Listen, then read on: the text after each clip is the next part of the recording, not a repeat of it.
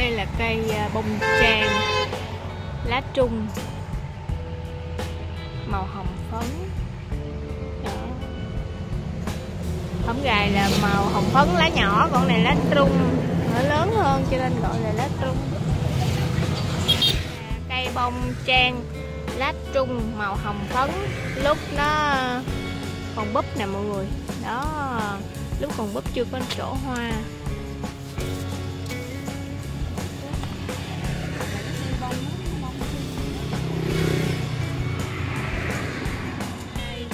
Còn đây là khi mà nó nó lên thân một cốt lớn nè. Ô, cái gốc này bự lắm mà nha. Đó cây bông trang lá trung màu hồng phấn một cốt. Đó mọi người xem.